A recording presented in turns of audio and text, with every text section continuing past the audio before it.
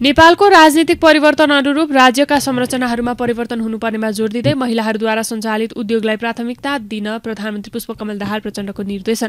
मंगलबार दिउँसो महिला बालबालिका तथा ज्येष्ठ नागरिक मन्त्रालयका मन्त्री सचिव र अन्य कर्मचारीहरूसँगको मन्त्रालयगत छलफलमा महिला बालबालिका तथा ज्येष्ठ नागरिक मन्त्री सुरेन्द्र राज आचार्यले पछिल्लो समयमा बाल सुधार गृहहरूमा केही समस्याहरू देखिएको र ती समस्याहरूको अन्तर्यमा कानूनी प्रबन्ध नै मुख्य रूपमा जिम्मेवार रहेको बताउँदै त्यसका निम्ति आवश्यक पहल लिनुपर्नेमा जोड पुस उन्नाइस गते नेपाल आउँदै भारतीय विदेश मन्त्री एस जयशङ्कर नेपाल भारतको संयुक्त आयोग सहभागी हुन आइरहेका उनको यो भ्रमण जलविद्युत तथा कनेक्टिभिटीमा केन्द्रित रहने। नेपालको तर्फबाट उनको भ्रमणका लगभग तयारी पूरा भएको जानकारी आयोगको बैठकमा प्रस्तुत हुने एजेन्डाबारे परराष्ट्र मन्त्री एनपी साउदले प्रधानमन्त्री पुष्पकमल दाहाल प्रचण्डसँग छलफल गरिसकेको र पूर्व परराष्ट्र मन्त्री भारतका लागि पूर्व राजदूत र पूर्व सचिवहरूसँग पनि छलफल भइसकेको उल्लेख। विदेश मन्त्री जयशङ्करको भ्रमणको क्रममा जलविद्युत व्यापार क्रस बोर्डर कनेक्टिभिटी रोकिएका कामलाई सुचारू गर्ने लगायतका विषयमा छलफल हुनुपर्ने सरकारवालाहरूको सुझाव।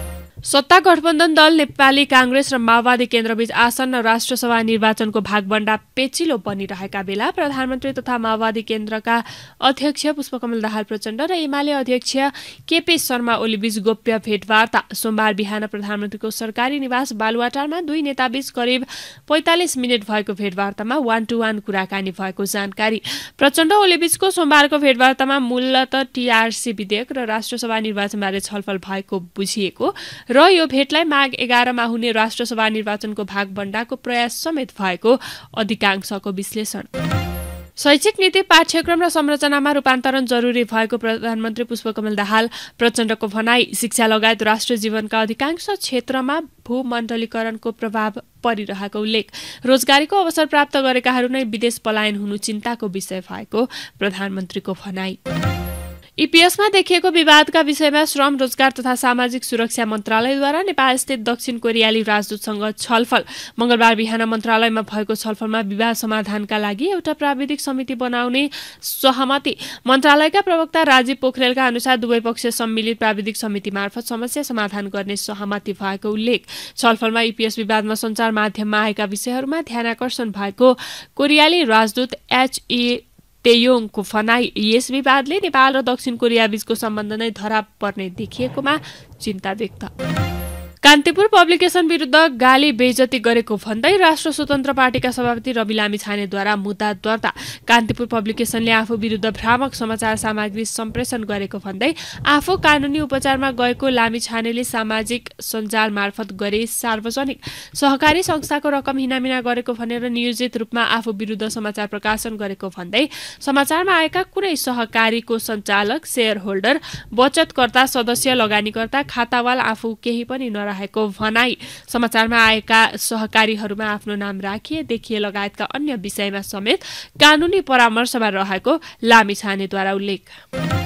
मन्त्री परिषद पुनर्गठन र राष्ट्रसभा सिट बाँडफाँडमा गठबन्धन दलहरूबीच सामान्य छलफल भए पनि निष्कर्षमा नपुगेको नेकपा माओवादी केन्द्रका प्रवक्ता अग्नि प्रसाद सापकोटाको दावी।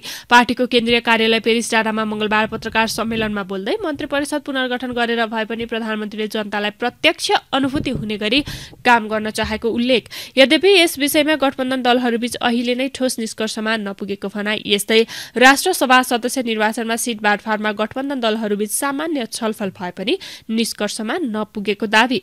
सबै प्रदेशबाट सिफारिस भएर आएपछि यसबारे निष्कर्षमा पुगिने जानकारी। वन मन्त्रालयमा अनसन बस्ने नेपाली काङ्ग्रेसका सांसद दीपक खड्काको घोषणा आफ्नो लगानीमा खुल्न लागेको रिसोर्टलाई अनुमति नदिएर सरकारी निकायले दुःख दिएको भन्दै अनसन बस्ने घोषणा।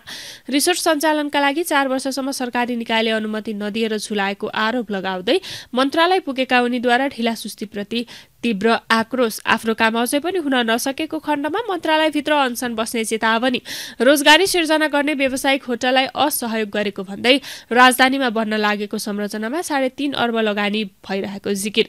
काम नहुने भए सबै फाइल च्यात्न तयार रहेको भन्दै नभएको काम नभएमा अनसन बसेर सरकारलाई दबाब दिने उल्लेख। कैलालीमा राष्ट्र स्वास्थ्य विज्ञान विश्वविद्यालय बनाउने कुरामा कुनै दुविधा नराख्न शिक्षा विज्ञान तथा प्रविधि मन्त्री अशोक कुमार राईको आग्रह। शहीद दशरथ राष्ट्र विज्ञान प्रतिष्ठान चलाउने कि भन्ने छलफल भए पनि अब त्यसलाई विश्वविद्यालयकै रूपमा अघि बढाउने भनाई।